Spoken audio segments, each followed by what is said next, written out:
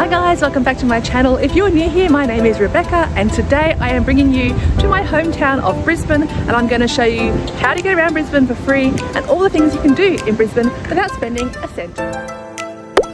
In this episode, I show you two free ways to explore Brisbane City. We visit some of the best free views in Brisbane I take you to some of our favourite parks,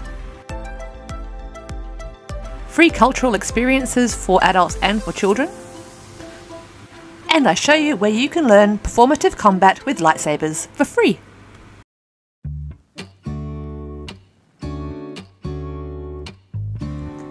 The free City Loop, Spring Hill Loop, and South Brisbane Loop bus service provides frequent public transport access within the Brisbane Central Business District. The City Loop uses distinctive purple buses and stops at the purple signposted bus stops.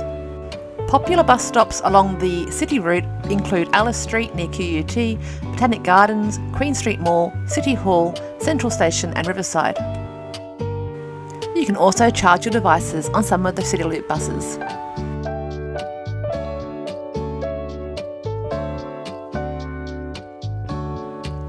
The City Hopper is a free ferry service along the Brisbane River. Travellers can hop on or off at any of the eight stops situated between North Quay and Sydney Street New Farm. This is a great way to take in the beautiful sights and enjoy a day on the river. Built between 1920 and 1930, Brisbane City Council's heritage listed City Hall sits in the heart of Brisbane City. City Hall is the perfect place to explore Brisbane's history. Now, if you're lucky enough, if you come to level one, the doors might be open and you might be able to see inside the main auditorium. The auditorium is based on the Pantheon in Rome. The auditorium is a large circular hall that can seat up to 1600 people and is covered by the largest copper dome in the Southern Hemisphere. Whilst at City Hall, be sure to visit the free Museum of Brisbane or enjoy a free City Hall tour of the iconic Clock Tower. The Clock Tower is a must do while in Brisbane. The Clock Tower tour includes a ride in one of Brisbane's oldest working cage lifts, a look behind Australia's largest analogue clock faces, and time to explore the observation platform that shares a unique perspective of Brisbane. For many years, City Hall's clock tower elevated the building to Brisbane's tallest, offering visitors a magnificent view of the city around them.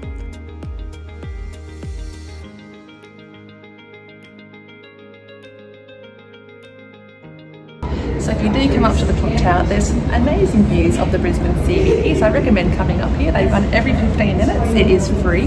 You do need to book though because they do book out quite fast. But um, definitely worth coming up here if you're looking for something free to do in Brisbane with a great view.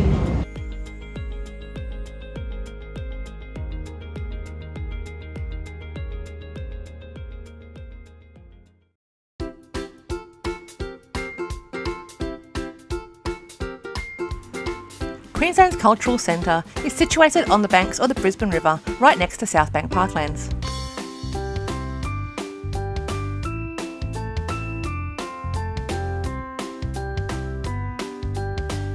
Home to the State Library, Queensland Art Gallery, and Gallery of Modern Art.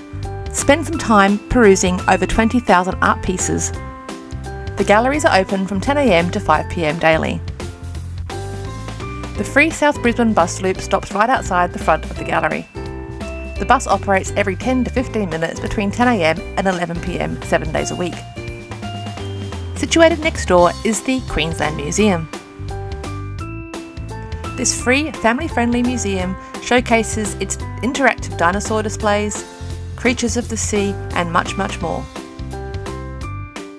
The museum also offers paid special exhibits throughout the year as well as daily free tours of the museum.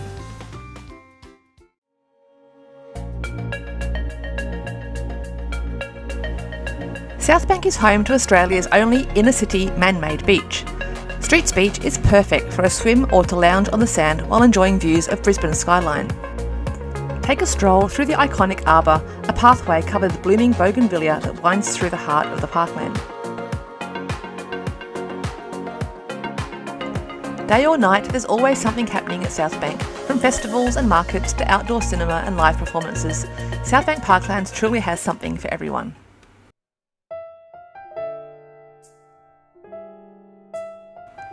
Welcome to Kangaroo Point Lookout, one of Brisbane's best spots to take in breathtaking views of the city and the winding Brisbane River below.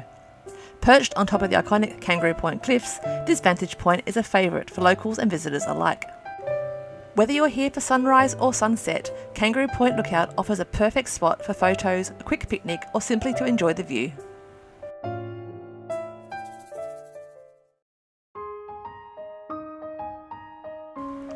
New Farm Park is one of Brisbane's oldest and most popular parks, offering a stunning riverside escape in the heart of the city.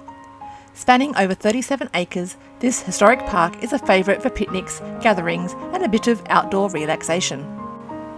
New Farm Park is well known for its beautiful rose garden and its blooming jacarandas that bloom during the spring.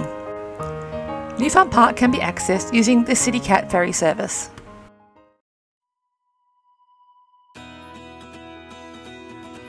Roma Street Parklands is just a short walk from Brisbane City Hall and is easily accessible using the free City Loop Spring Hill bus service. Take a stroll through the parkland's 16 hectares to see some exceptional sights. If you're looking to learn, join one of the experienced and knowledgeable volunteers on a free one hour guided tour starting at 10am. If you prefer to go at your own pace, download a map or head to the hub and collect a special self guided map which will take you on a journey around the parkland.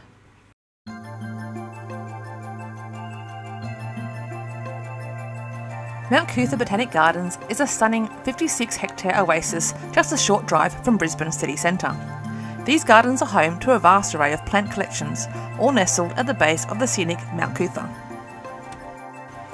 Explore the unique tropical dome where you'll find an impressive collection of tropical and subtropical plants in a climate controlled environment, ideal for discovering plant life from far off rainforests. The gardens are free to enter and they also offer free guided tours.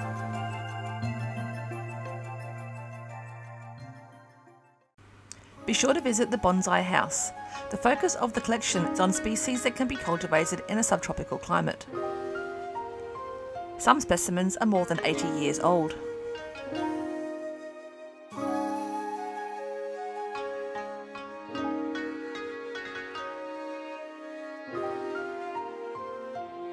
Located next to the bonsai house is the Japanese Garden, which was originally an exhibit at the Japanese Pavilion at Expo 88, held at Southbank.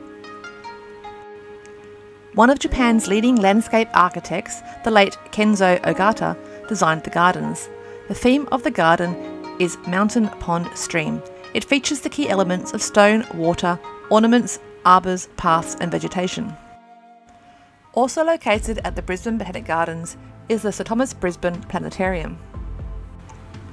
The planetarium offers a free display zone, including two areas, the foyer and the gallery with printed exhibits, models, and interactive displays on astronomy and space exploration. For a extra charge, you can actually enter the Cosmic Sky Dome.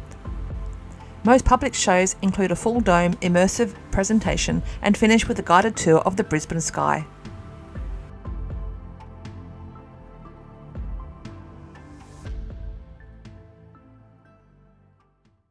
To top off your visit to Mount Coot-tha, head to the Mount Coot-tha Lookout, the highest point in Brisbane, with remarkable panoramic views of the city and Moreton Bay.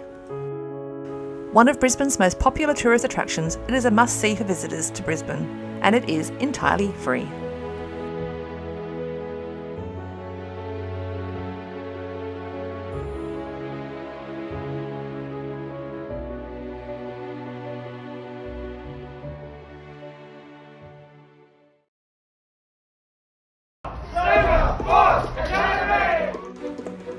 Are you a Star Wars fan? Curious about lightsaber combat? Or simply looking for a unique way to spend your free time? At Saber Force Academy, you can experience the thrill of lightsaber combat through combat improvisation, and the best part, it's completely free. Every Friday at 6.30pm at Southbank Flow State.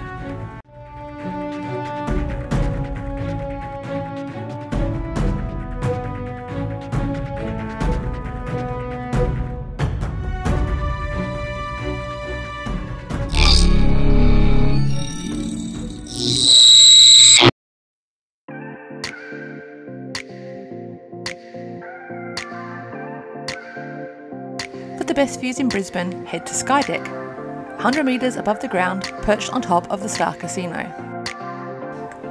If you're not afraid of heights, why not walk the glass floor with views of the traffic below? Skydeck offers panoramic views of South Bank, the Brisbane River and beyond. Accessing Skydeck is free, however they do offer restaurants and cafes as well as a bar for your enjoyment at an extra cost.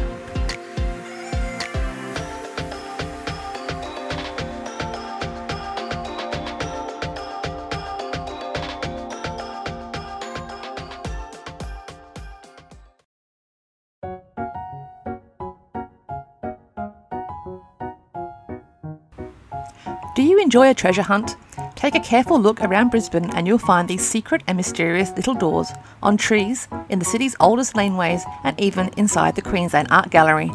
This is a fun way to explore Brisbane and is once again completely free to enjoy.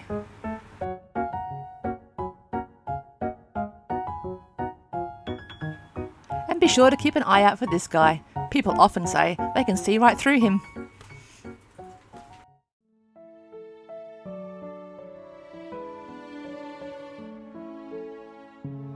Discover Brisbane like a local with the free Brisbane Greeters Tours, a unique guided experience led by passionate locals who know the city inside out. Whether it's your first time in Brisbane or you're looking to learn more, these tours offer a personalised way to explore.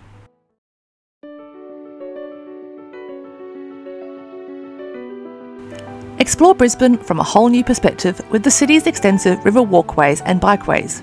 Winding along the Brisbane River, these paths offer a refreshing way to see the city perfect for walking, cycling, or simply enjoying the view.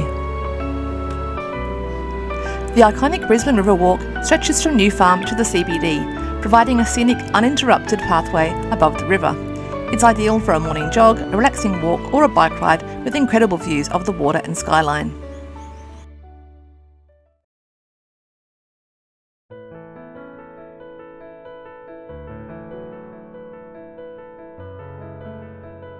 Why not visit the City Botanic Gardens, Brisbane's oldest public park and a serene escape in the heart of the city? Spanning over 49 acres along the Brisbane River, these gardens open daily and are completely free to visit, making it the perfect spot to unwind, explore and enjoy nature. The gardens are known for their lush rainforest groves, tranquil bamboo forests and expansive lawns, perfect for a picnic.